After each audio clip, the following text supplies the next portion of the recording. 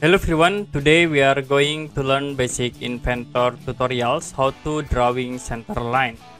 I will go to drawing tools and we insert for simple solid object and search for your part. So I will use this part, click open and I will click in the top, click OK.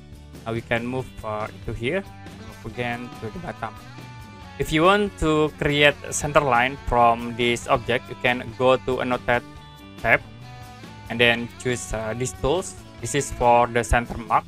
only select the circle and it will be automatically create for the center mark. And if you want to create center line, you can click at this icon, center line. You can like click from this uh, middle point over to the bottom, click, and then you can right click, choose create be automatically create for the center line. Okay that's it for basic inventor tutorials how to create a center line.